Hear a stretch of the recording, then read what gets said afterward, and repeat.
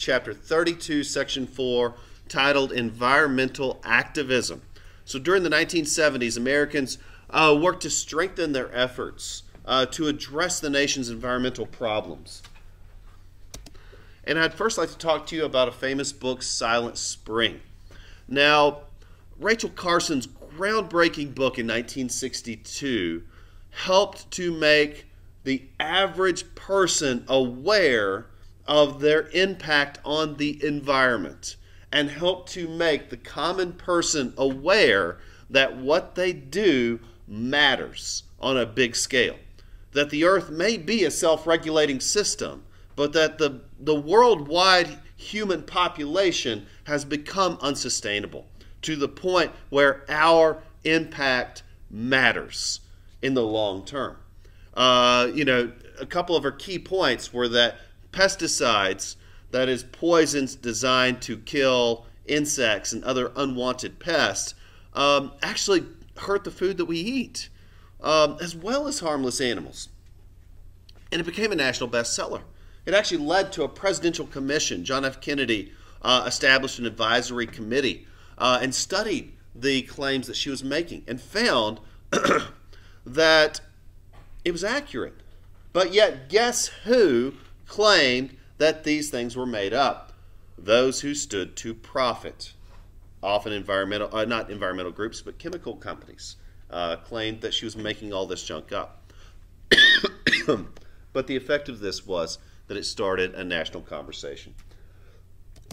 From here, it appears conservationists have done a good job, and in fact, they have. Uh, much of America is still America the Beautiful. And compared to most countries, we do a superb job of caring for our environment.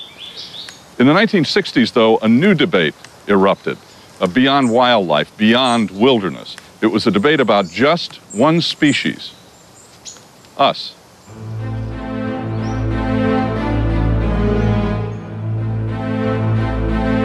In 1962, Rachel Carson's book, Silent Spring, created what we now know as environmentalism. She was an inspired writer. Her first great book was The Sea Around Us. In that, and later in Edge of the Sea, she railed, just as John Muir had, uh, just as Aldo Leopold had, at man's arrogance. Before Silent Spring hit the stands, people thought that pesticides and herbicides were miraculous, a real high point in our attempt to control nature. But Silent Spring pointed out, in Carson's riveting way, that pesticides weren't just killing insects, they were killing us. Rachel Carson's warnings about pesticides are now almost universally accepted, but her more comprehensive ideas about man's capacity to prevail are not. I truly believe that we in this generation must come to terms with nature and I think we're challenged, as mankind has never been challenged before, to prove our maturity and our mastery, not of nature, but of ourselves. Carson died of cancer at 56. She regretted deeply that she had come to her terrible knowledge too late to personally do more about it.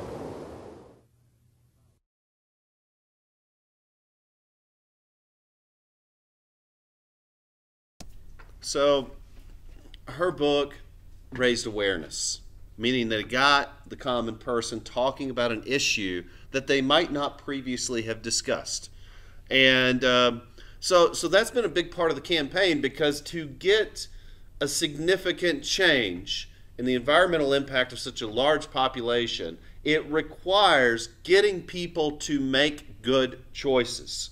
And we're only going to make good choices if we think about it often. You know, of course, another big push and another lucrative industry, if you're interested in anything in the technology field, is sustainable technology. Uh, you know, in environmental impacts in emerging industries um, is, is a great field to go into. And, uh, and so making things convenient, but also making us think about it. And so that was the purpose of Earth Day, first observed in 1970 uh, by communities, and we still observe this every year. Uh, what can the government do? Well, it does depend on who's in power. Uh, and so, you know, that depends on how we vote and what we prioritize when we vote. Uh, you know, for example, Uh, Richard Nixon was not an environmentalist, that is, someone who was an active protector of the environment. However, um, he did sign the Clean Air Act. Uh, he did create the Environmental Protection Agency, and this is the main kind of government watchdog in environmental issues. Uh, and throughout the 1970s, Congress did pass 35 different laws on conservation, which required cleanup, required companies to be more environmentally responsible. With climate change, we face a choice action or inaction. If we don't act, the global average temperature will continue its rapid climb, and the temperature changes in the United States will mean serious impacts across all sectors of the U.S. economy. Today, we are already seeing more extreme weather, rising seas, changing rain and snow patterns, and more drought. These impacts and others are expected to worsen with climate change. But what if we come together as a global community to address climate change? EPA's newly released Benefits of Global Action report looks at the consequences if we don't act and the payoff for the U.S. of global action. If we act on climate, all Americans, especially our children and grandchildren, will see the benefits in our health and our environment. We can prevent tens of thousands of premature deaths annually in the United States by the end of the century through air quality improvements and less extreme temperatures. By the year 2100, we can cut the increase of severe drought by half and avoid more than $10 billion in agriculture losses per year, helping keep food prices affordable.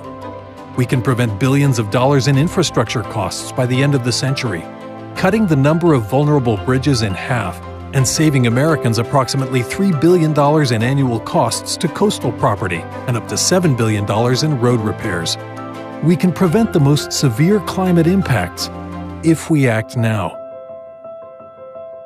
The choices that we and the global community make today are the legacy we will leave to our children and grandchildren. U.S. leadership is crucial to global climate action. The Clean Air Act, established by Congress, obligates us to protect the health and welfare of Americans today and tomorrow. That's why EPA is taking action to address the largest sources of greenhouse gas emissions in the United States. EPA's Clean Power Plan will cut hundreds of millions of tons of heat trapping carbon pollution from power plants, while cutting harmful smog and soot forming emissions too. Our fuel efficiency standards for cars and trucks will cut over 6 billion tons of carbon pollution and save Americans $1.7 trillion at the pump. We're acting to make a difference on climate change. So, I want to have a brief discussion about balancing environmental conservation with economic progress. And I'd like to use the example of the Alaska pipeline. So, the argument with the Alaska pipeline was that it would create jobs, it would bring a steady source of oil from Alaska to the lower 48. Uh, it would increase revenue by fostering efficiency and alleviate um, many of the economic woes of our country with our foreign dependence on oil. But the counter argument was that creating a pipe from Alaska to the lower 48 would have an environmental impact on the wildlife, on the native people that the pipeline goes across their lands. Um, but yet, it was built. Despite any debates about the social environmental impact, it was built uh, because the economic benefits overshadowed the arguments about the environmental impact. Um, you know, nonetheless, you know, public lands have been set aside. Millions of acres uh, have been given to native tribes for conservation, for public use. Um, you know, uh, for example, in the Jimmy Carter administration alone, 56 million acres of American land were set as national monuments. Uh, and by 1980, Congress had added another 104 million acres uh, of protected land. Another debate going on in our country is how do we make energy in a sustainable way? How do we produce energy? Well, in 1900, the main source of energy production was coal. But by today, uh, we are producing more renewable energy than we ever have before wind, solar, hydro. Uh, hydro does have an environmental impact, so the big pushes have been wind and solar. Again, there are power companies that will put solar panels on your roof of your house free of charge, and you're contributing to the power grid in a way that hurts no one. Um, but one of the debates, especially in the 1970s, was about nuclear energy. Nuclear energy is a potentially sustainable, indefinite form of energy production.